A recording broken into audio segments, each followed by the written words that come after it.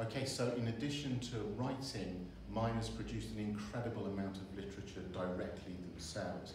And I've got two banners here which illustrate that.